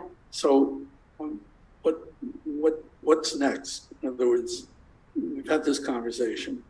Oh, what, what action comes out of this? What are you going to do? I think I'm still going to be making judgments about, you know, I mean, obviously, I want to get the best out of my activists, which means not overwhelming them with too many activities and too many things and How do you, commitments. how do you know if you're overwhelmed? Um, so I, I suppose it's about having conversations and, you know, saying, what do you think about this? And how about coming along to this? And having those conversations and where, you know, there is, you know, I'm not just sending things out, but we're actually talking about it and saying, what are you doing this, you know, this weekend or next week? Or, you know, how do you feel about chairing this meeting? Um, and yeah, so I suppose I think having conversations, so I'm not just making assumptions. Do you ever could share, help. do you ever share how much you've learned and grown as a result of this work that you've been doing? Not enough, I think. Yeah. Not not enough. Not enough. Um, I think sometimes you feel like, you know, you just want to share the successes, and you don't so much go into the the, the struggles. Although I must say, um, I, I've had a dispute in my own school, and it's been brilliant because I've been sh- sharing quite a lot of the dis- obstacles and the difficulties. So even as a district secretary, I'm facing, and I'm in exactly the same situation as every one of my reps is facing. And in fact, you know, I, I'd say there's, there's some things that I haven't even won on, and I'm quite open about sharing that. Well, look, you have a lot to teach. You have a lot to share. And, you know, sometimes we focus too much on the cost and not enough on the benefit. Mm. You know, sometimes people think that people volunteer because it's easy. But they don't. They volunteer if it's valuable. It's a big difference. See, sometimes we focus so much on reducing cost that that doesn't get it. It's the value. And uh, you think you can create some real value with this person we've been talking about? hmm Yes, Yeah. definitely. I see him as a future leader, you know. So when are you going to talk to him? Soon. How soon?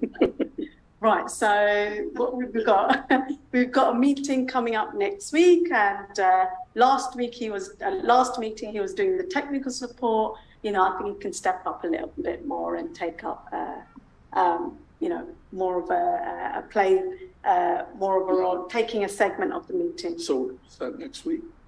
That is next Tuesday, yeah. Next Tuesday? Yeah, Okay, well, it'd be great to check in and see how it goes. I promise. Thank I you will. very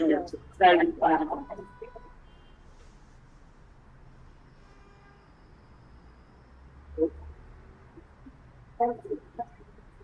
Thank you very much, both. Um, so as I promised at the start, we do ha- now have some time for questions, but I must apologise. I didn't welcome everybody who is online at the start. So I have got a computer here. If you have any questions online, please do start putting them in. Um, and we do have some roving mics in the room as well. So Louise, just, just, I just want to ask, Vendor, yeah. Linda, yeah, what was your experience of this? What, what do you take away from this? From, Just This our. whole session? No, from our conversation just now. from our, from our conversation, um, I think like you say, um, what we've got to offer in the union is something so valuable and um, it is an opportunity for individuals to uh, you know be involved in something that they gain a lot from as well and so to treat uh, you know the involvement in the union not necessarily as asking them to do too much but actually it's an opportunity for them to do things that is a you know that hopefully they see as a value valuable contribution and that they grow through as well So what kinds of questions by asking that were helpful?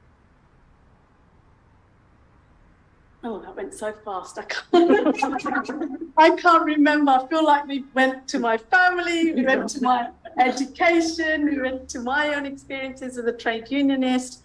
I suppose a lot of it was focused on me and what got me engaged and me stay in and turn, turn up meeting after meeting and, you know, like keep kind of keep going. Those kind of questions, yeah. Because the idea of coaching is not advice. Yes. It is to ask questions. Yeah. And this is why coaching is so valuable. You know, there's a Yiddish riddle who discovered water. And the answer is, I don't know, but it wasn't a fish. It's supposed to be funny. But, but, but we're all fish in the water of our own stories and our own experiences. And the value of coaching is someone who is not in that, but who is interested, who cares, and can ask questions. And we can be such valuable resources to each other just in that way, just in that way. So I just wanted to underscore that. And again, thank you for the opportunity. Thank you with so much. That was a really interesting conversation.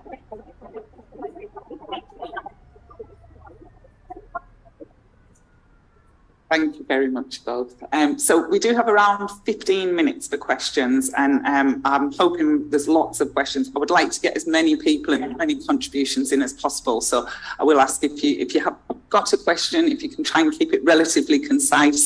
Um, the more concise you are, the more people that we can bring in to ask something. So who's going to be brave and go first? Brilliant. That, oh, your, your hand was up first, I'm afraid. Yes, just there with the glasses on and the blue flowery shirt. Marsha, would you like to take one at a time or three in a Maybe, section? maybe we should, should get a couple. Yeah, okay. Yeah. Take. Thank you. And then And, and a person say who you are and, and, you know, and where you're from. Just- yeah. Thanks very much. My name's Lynn Collins. I work for the Royal College of Midwives at the moment, but previously worked for the TUC and did some uh, women's development programs. So I wanted to ask a question about uh, gender and organising. Um, the women we worked with tended to be a bit better at telling the story of us than the story of self. Uh, and we needed to do lots of confidence building uh, to emphasize how important our own stories are. And I just wondered if you could share any examples of where organising campaigns have built the confidence of women to tell that story of self. Brilliant question. Thank you, Lynn. And then just over there in the back corner with the black, and it's lovely to see you personally, and I follow you on Twitter. so this is why these are so lovely. It's funny because I now have two questions, but I can only ask one, can't I? Um, hi, I'm Caroline from the Trussell Trust, and my question is um, what do you think are the key differences between organising in the UK and the US? Well, let me, let me just respond to the first. Um, the organizing online class that I teach, uh, we have, a, we just finished, we have 140 students in about 30 countries. And um, 46% are where English is not their first language, but 68% are women. And the average age is around 35. One of, I think, the most important things happening in the world right now is the, is the, the, the, the gender revolution, is the women's movement. And I work with people in the Middle East and India, all over the place. And boy, that's where there's a lot of energy and a lot of action. What you're describing is not surprising, but it's also a shame that it's not. Uh, SEWA is an organization in, uh, in Gujarat, in India, that uh, has done a lot of work there. It's a, like a women's trade union co-op whole thing.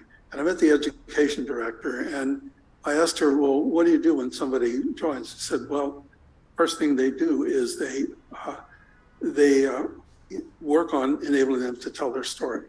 I said, well, why that? Well, when they come, there's somebody's wife, there's somebody's daughter, there's somebody's sister, there's somebody's aunt, they're not somebody. And so the very first thing they have to do is the somebody. And I think that's where the work is, you know, because there's all these different, but that's where the work is. We were just involved in a campaign in Lebanon with the Syrian refugee community where uh, they did a campaign to stop child marriage. Now, that's something you can't do from the outside, from the inside. And the leaders were women who had gone through that experience. They wanted not just to be survivors, they wanted to be organizers. And they took the leadership, and this thing was amazingly successful. They even organized a thing for courageous fathers. In other words, each house was asked to put up a sign, no child marriage in this house. That was really something. So these resources are there, they're within us. And I just think you put your finger on what is so critical. But it's always there. It just has to be drawn out. And the more that people are working together with each other to do this, that's where it comes. And, you know, I mean, the real, how can I say, the real craft is in the doing of it. And uh, I would just love to see how you're doing it uh, because it's really, really important. Thank you for that question. On the other question, I'm going to dodge because I just got to the UK. I, you know, I could be, you know, I could be legitimately ignorant here. Uh, I mean, I certainly have a lot to say about the U.S., which is uh, very challenging, very challenging circumstances. And um, yeah, I, I, I, guess, I mean, to make long and short, uh, long story short, I'm convinced that unless we build a movement that's capable of turning over some some traces, turning over some stuff. Um, and I don't know what I mean specifically about that. It's just not a business as usual time. And our electoral system is so sclerotic and so problematic and oligarchic, frankly, that the only ways in American history that deep change has happened has been the result of disruptions, whether it's a war or depression or a social movement. And social movements have had a very particular role in American history. It's a great book by a guy named Dan Schlozman, When Movements Anchor Parties, and the interaction between movement and party, and how without the movements, the parties would not change.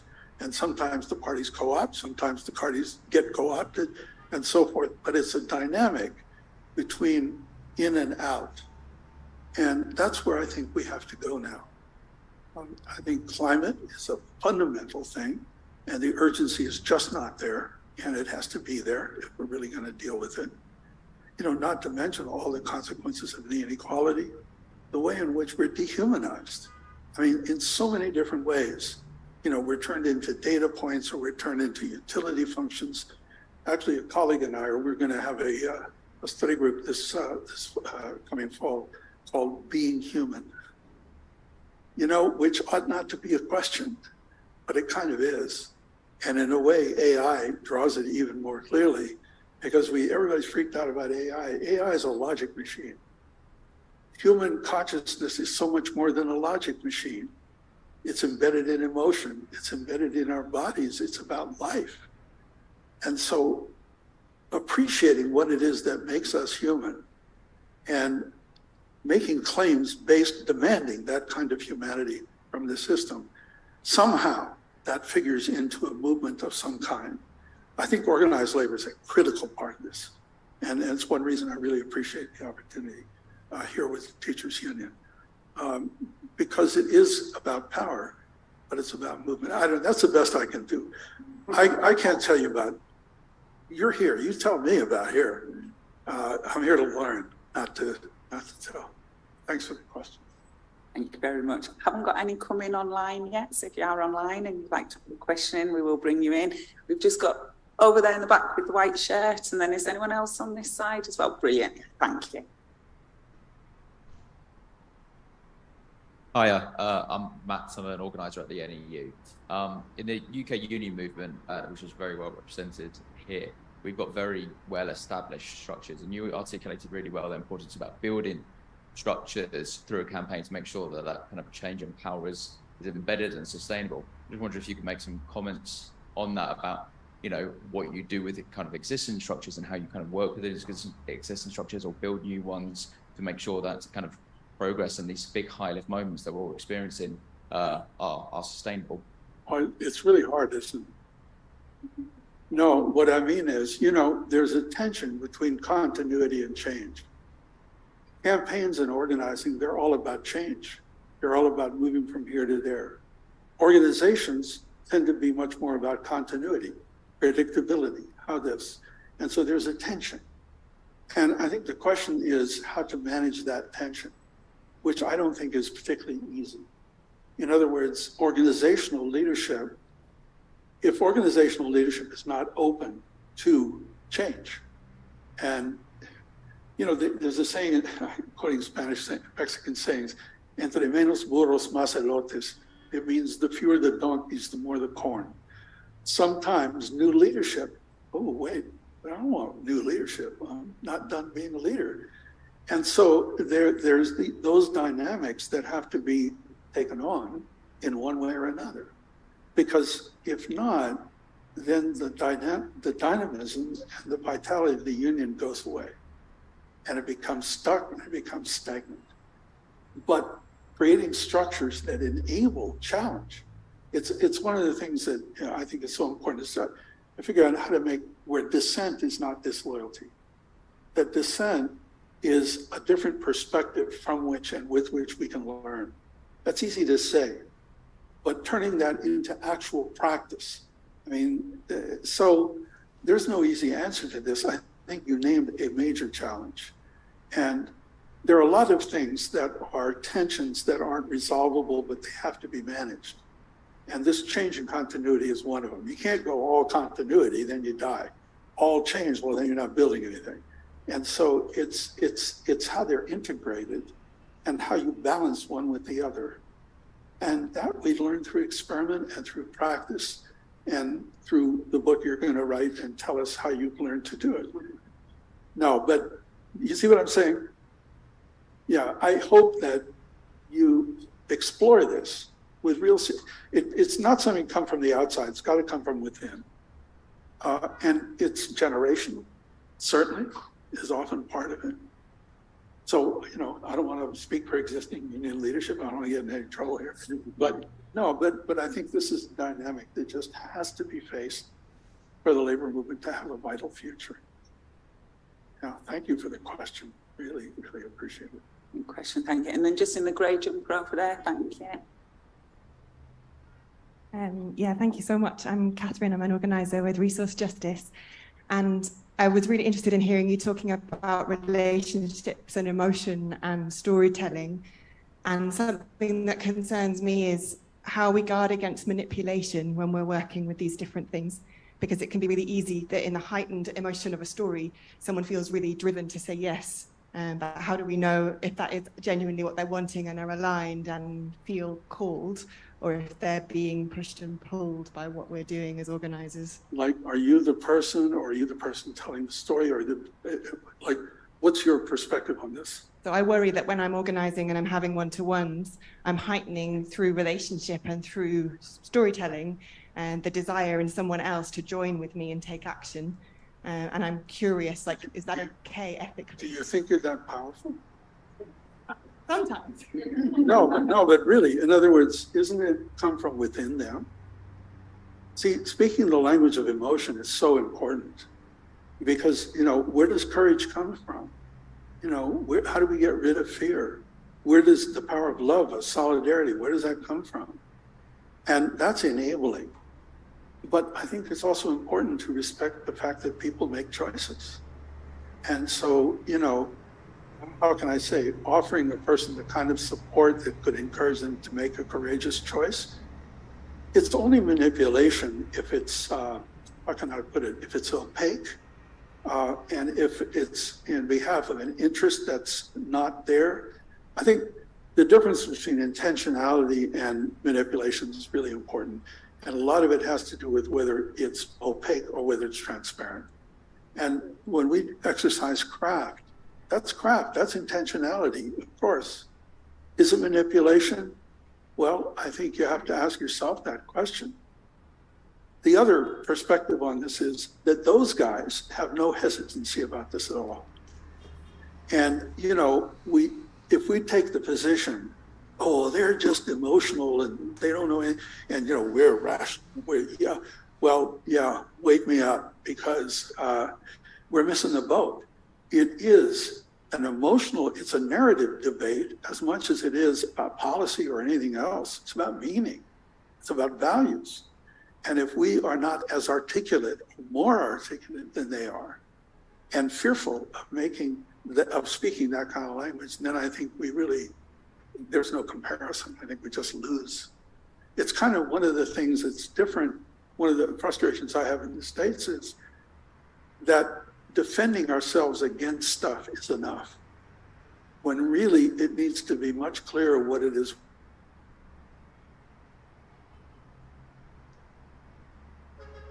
I think. And there is a lot of values work to do there, a lot of relational work to do there. You know, in the States, everybody talks about things are polarized as if it were symmetrical, as if there's this powerful hard right and there's this powerful hard left. Well, I don't find that. I haven't found it. I don't know where it exists. There is a highly polarized right, and then everybody else is fragmented. And so it's a question of how to build out of that fragmentation the kind of unity that, but you don't build unity simply around defending yourself. And that's where the values come in. What are we for? What are we trying to build? What is this world we're trying to create? Isn't it possible that the challenge of climate change offers an opportunity to create a genuinely humane society, which we don't have? So it's trying to, to, to move forward in that way. Does that make sense? Good question. Thank you. Yeah, very good. Thank you, Marshall, as well. Um, so I have got one question online, and um, thank you to Michelle from Save the Children for sending this question in. And Michelle begins by saying, Marshall, thank you for this amazing, beautiful seminar. And her question is, do you think it is possible to get fluent at organising later in life? She says she only found out that she loves doing campaigning in her 40s and she worries that she's behind and doesn't have enough time to learn but she does have lots of lived experience. What would you recommend? Wait, what was the first part? I didn't quite. The first part when she said, thank you, it's a beautiful seminar. No, no, no. no, she said, do you think it is possible to get fluent at organising later in life? Um, yes. no, I mean, look, I started my PhD when I was 50. Um, you know, I think we're learning as long as we're open to learning. And, you know, sometimes over 40, you don't have to worry about things you have to worry about before 40. Uh, you know, there's a, again, I'm, I'm with Mexican sayings, uh, hay que ser como el vino, entre más viejo, más bueno. One, we should be like wine, the older the better. No, I, I, I think that, uh, that you don't say no to yourself. It is, quote, never too late. And I certainly found that in finding very the same calling, but in a radically different setting. I mean, if somebody told me I was going to be teaching at Harvard, I'd say, you're crazy. That's never going to happen. It was never a plan. It was never intentional. It was about what, it's about what was calling me next. And if she's called to learn, so I'm in. Yeah. I hope you heard me. Um, I think we've got time for one last question. I think if we're just in the purple top there. Thank you very much. And there's another. um, what we're coming across, it's Kay from Unite Communities. So what we're coming across a lot at the moment is union busting. How do you organise against union busting while trying to organise? Okay, and let's go get the other. Was there another question on? There's, Thank you. there's another question over here. Hi, my name is Sadaf Musfi and I work for the New Economics Foundation. I'm a community organiser working on London's housing crisis. Um, really broad. We're still trying to fix it, um, but uh, it's not going anywhere. Uh, so uh, the question is um, that do you think there's a moment in uh, in people's life when you're working with organisers and tenants in this case that you take them on the journey of organising? Do you think first maybe you have to work on their immediate problems like fixing the mold and the damp and then take them on that journey and through that you build trust? Because this is a challenge I'm facing, not just with the people that um, who who are obviously facing the the problems of damp and mold, who are reluctant sometimes to you know to, to, to speak, uh, to tell their story or come to a house meeting. And also the partners I'm working with who are very much interested in, you know, getting the council to, to, uh, to, uh, to fix the problem and being an advocate, you know, on behalf of them rather than organizing. And just to come back to the lady um, before me, um, this is the problem I feel that it, it, there's a, a issue in the UK with when it comes to organizing. It's a lot of it is like activism and trying to speak on behalf of people rather than enabling them. So do you think first we, sh- yeah, is there a purist model or a more fluid? Thank you.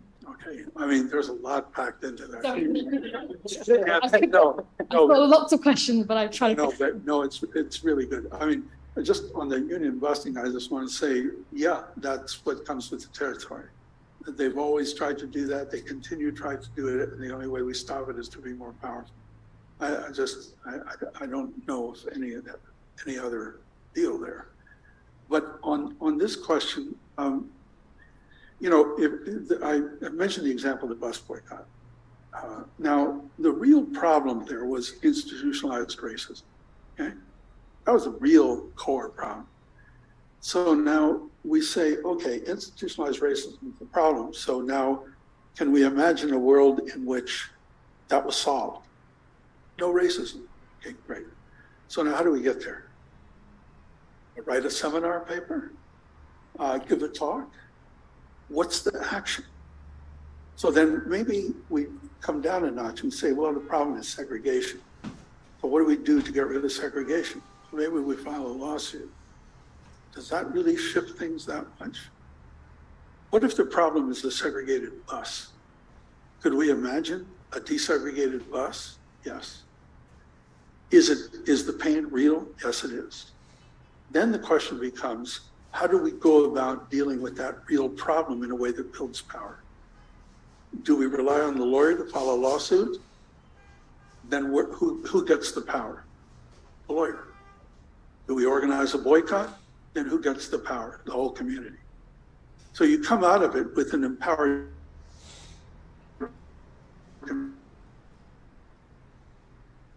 or the next step, the next step. The question is how you solve what's there and, or try to in a way that builds, that isn't just, just, you know, well, we're fighting to have a stop sign, way we want. The whole point of fighting to get a stop sign is to build a powerful community. That's, that's the point. And so I don't know if, if, how helpful this is, but these things are never either or. And, but if you're not connecting with people in terms of real needs, you're not connecting with them. You know, it's just not. They should feel this way. No, it doesn't work. How do they feel? How do we engage with that? How do we learn together? And then you can't promise power, you can create the experience of it. This is very different. Like that bus boycott, they created the experience. They all stayed off the buses. Wow, look, we're powerful. You create the experience of power. And that's a lot of what organizing is about, is looking for those opportunities in which people can exercise agency and experience, oh, yes, I do matter. Yes, I can. Yes, we can. So that's about the best I can do. Thank you. Thank you. Thank you very much, Marshall. Um, so that does bring us to the end of our evening this evening. However, I do genuinely hope this is the start of a conversation. So I am going to remind you and ask you to please do join the Leading Change Network. You will find leaflets, I believe, on your seats. So please do join up and we can continue this conversation as well. And I just wondered, Marshall, do you want to finish with any final comment? Yeah, thank you. Uh, no, I just want to conclude with a song, but I'm not going to sing. Because in the fourth grade, I was told, please just mouth the words. A very evil teacher, I, yeah. No, but, uh, uh, no, this was a song Judy Collins recorded in the sixties, uh, in the context of the civil rights movement in the US. And, um, it uses the word freedom. See, the civil rights movement never called itself the civil rights movement, it called itself the freedom movement. Because freedom is a much bigger idea than, than legal rights. It's, it's powerful, it's solidaristic, it's, it, it is so much more than legal rights. So think of it in that sense. And the song goes, freedom doesn't come like a bird on the wing, doesn't fall down like the summer rain. Freedom, freedom is a hard won thing. You have to work for it. You have to fight for it, day and night for it, and every generation has to win it again. Pass it on to your children, brother. Pass it on to your children, sister. They have to work for it. They have to fight for it, day and night for it, and every generation has to win it again. Pass it on to your children. Pass it on, and thank you for the opportunity to pass it on. Thank you so much.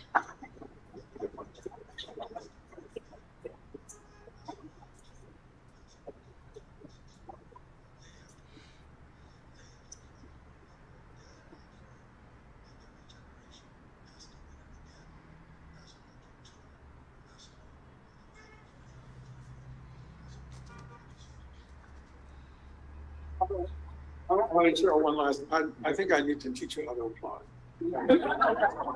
Uh, No, in the farmers, we used to applaud like that. A guy named Luis Valdez uh, organized something called the Teatro Campesino, the Farmer Theater. He wrote a lot of song and all that and, and actos and all to the movement. And he noticed that we applauded that way. And he said, I don't get this. You know, you're, you're supposed to be a movement and you're organized and building momentum, but you just applaud chaotically. And so he taught us how to join me.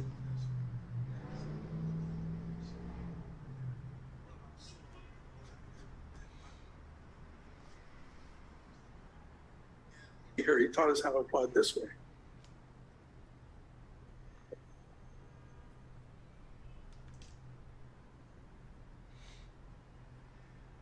And there's one more. Uh, we were doing, we doing uh, uh, Latino Camp Obama in New Mexico, and a young woman who'd been organized in the Filipino community came. She said, "That's really cool." Because I mean, that was known as the Aplauso Campesino, the farm worker applause. Whenever you heard that in California, everybody said, "Oh, it's the farm workers."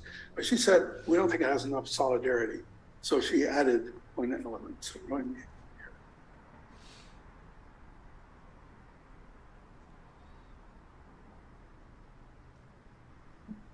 That's it.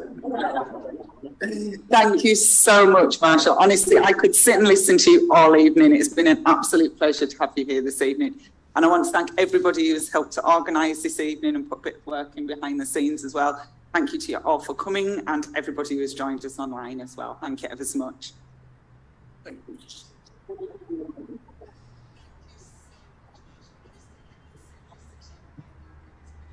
Oh.